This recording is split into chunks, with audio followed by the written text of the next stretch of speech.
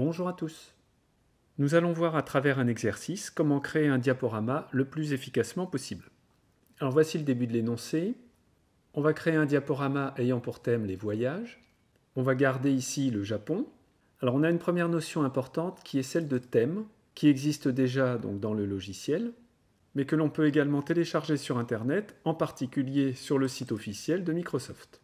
Donc un thème PowerPoint, c'est un modèle qui contient des polices de caractères, des couleurs, par exemple ici on voit du gris-bleu, une mise en page et éventuellement des effets graphiques.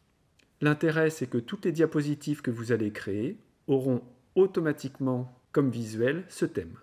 Mais on peut appliquer des variantes sur un thème, donc par exemple ici changer la couleur et le mettre en bleu, et on verra un peu plus loin qu'on nous demande également de modifier les rectangles qui sont autour des titres pour les transformer en rectangles avec des coins arrondis, également de changer les puces.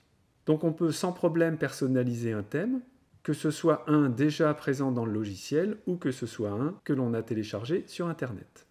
Les thèmes par défaut sont dans l'onglet Création. Donc il suffit de cliquer sur un modèle pour qu'il soit appliqué à toutes les diapositives. Donc si je me mets à gauche sur la vignette et que je fais Entrée, la mise en place des deux zones de texte ainsi que le fond sont déjà prêts. Si maintenant je décide de changer de modèle, on voit que ça l'applique aux deux. Si vous voulez appliquer un modèle uniquement à une ou plusieurs diapos, il faut faire un clic droit sur le modèle et choisir Appliquer aux diapositives sélectionnées. Bien entendu, dans ce cas, on perd la cohérence entre les différentes diapositives. Je vais annuler, CTRL Z. Chaque modèle a un nom, Madison, Atlas, etc. Donc nous, on cherche celui qui s'appelle colis. Donc soit vous l'avez déjà dans les modèles par défaut, ou alors on va les chercher sur Internet. Sur un moteur de recherche, je vais taper modèle colis Microsoft PowerPoint par exemple. Et le premier résultat, donc template signifie modèle en anglais, correspond bien à ce que je cherchais. Donc je vais faire télécharger, je peux l'enregistrer ou directement l'ouvrir avec PowerPoint. Il ne restera plus qu'à l'enregistrer avec le nom que vous voulez. Alors voyons maintenant comment modifier un thème. Donc par exemple, une variante bleue, modifier les puces, changer les cadres des titres et ajouter le drapeau du pays. Je vais à nouveau faire entrer pour avoir deux diapositives. La première est ce que l'on appelle une diapositive de titre. La seconde diapositive a pour disposition titre et contenu. Et on voit que pour ce modèle, il existe également d'autres dispositions, par exemple deux contenus, et dans ce cas, je vais pouvoir mettre un titre, du texte ou un objet du côté gauche, du texte ou un objet du côté droit. Alors revenons à la personnalisation de ce thème. Je vais dans Création et à droite, j'ai les variations de couleurs. Donc je peux choisir par exemple du vert, du bleu, ou encore en cliquant dans le sous-menu Couleurs, et là vous avez beaucoup d'autres variations. Alors restons avec du bleu, à nouveau, avec un clic droit, je pourrais demander à appliquer une variation uniquement sur certaines diapositives. Et par défaut, lorsque vous cliquez avec le bouton gauche, ça s'applique à toutes les diapos. Alors maintenant, comment changer les puces? On voit qu'ici, la puce est ronde. Donc comment faire pour la modifier et qu'elle soit carrée et que le niveau du dessous ressemble à un coche? La mauvaise idée est de le faire ici à la main pour cette diapo, donc d'aller dans Accueil, puce et de choisir le petit carré. Pourquoi? Parce que je viens de le changer dans cette zone de texte. On voit que ça n'a pas modifié la zone de texte d'à côté. Et si j'insère une autre diapositive, les puces restent rondes. Donc ça signifie qu'il faudrait qu'à la main, j'aille changer les puces dans toutes les zones de texte. Donc ça, ce n'est pas la bonne technique. Donc j'annule et je vais dans Affichage, Masque des diapositives. Dans le masque, je vais retrouver les différentes dispositions du modèle. Et tout en haut, on a donc le masque principal qui permet en quelque sorte de piloter tous les sous-masques. C'est-à-dire que si je change quelque chose au niveau du masque principal, les modifications vont se répercuter sur tous les sous-masques.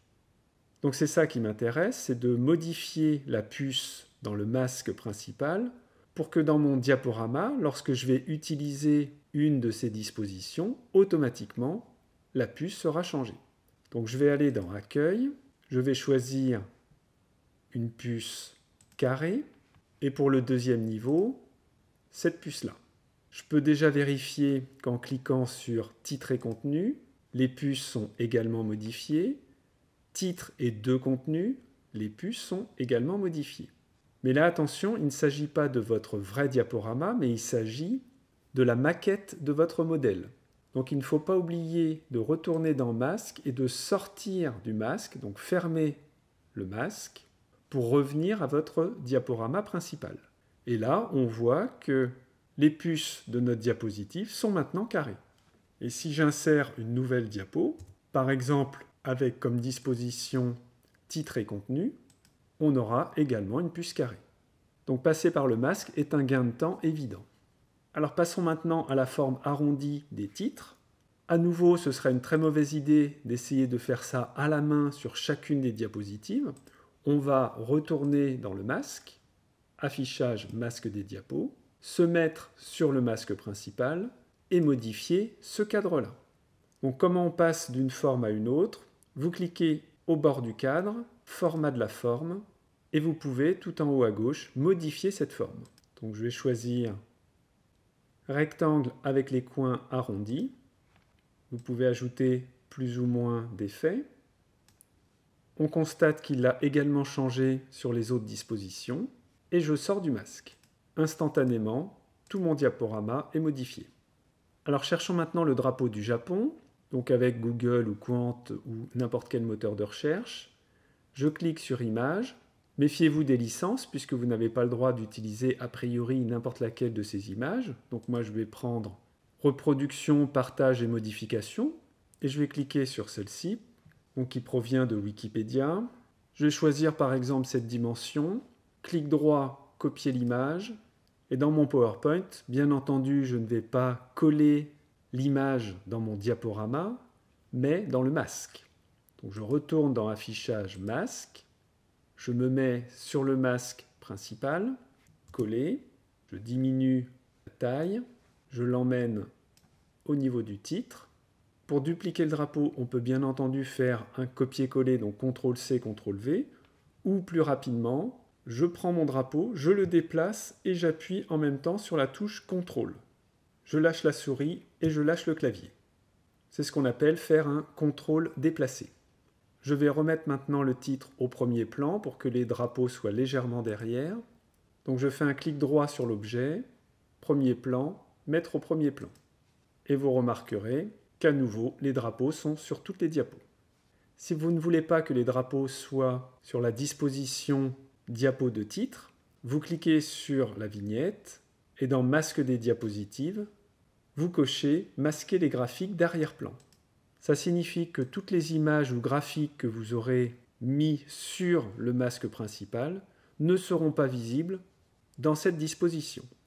Par exemple, si je dessine un rectangle, on le voit apparaître sur toutes les dispositions, sauf sur diapositive de titre. Si je décoche masquer les graphiques d'arrière-plan, tous les graphiques réapparaissent. Donc lorsque vous voulez que quelque chose s'applique à toutes vos diapositives, pensez au masque. Alors passons maintenant au pied de page. On veut que attention au départ apparaisse sur toutes les diapositives sauf sur la première. Donc là naturellement on se dit qu'on va aller dans affichage masque des diapos. On voit d'ailleurs en bas pied de page et plus précisément d'aller sur le masque principal. Alors là, attention, le masque ne sert pas à taper le texte. Si j'écris attention au départ et que je sors du masque, vous remarquerez que rien n'est apparu. En fait, l'intérêt d'aller dans le masque va être uniquement pour placer le pied.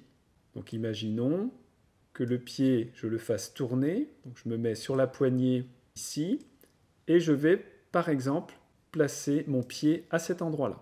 Je vais rajouter un remplissage et mettre le texte en blanc pour mieux le voir. Donc le pied est bien maintenant présent sur toutes les dispositions. Je ferme le masque et pour le moment je ne vois toujours pas mon pied. Donc il faut aller dans Insertion, En-tête et Pied de page. Donc là, on voit que Pied de page n'est pas coché. Et quand je clique, il nous dit que le pied de page est par ici. Il n'a pas mis la rotation, mais effectivement, on a bien mis le pied de page à gauche. Et c'est à cet endroit où je dois écrire mon texte. J'en profite pour cocher « Ne pas afficher sur la diapositive de titre ». Et de la même façon, on peut ajouter les numéros de diapositive, donc qui par défaut vont être en bas à droite. Et je fais appliquer, si je veux que ça ne s'applique qu'à la diapo actuelle, ou appliquer partout, donc pour l'ensemble de mon diaporama. Donc je vois bien mon pied sur toutes les diapos, sauf la première qui a comme disposition diapo de titre. Et c'est la même chose pour les numéros qui n'apparaissent qu'à partir de la diapo 2.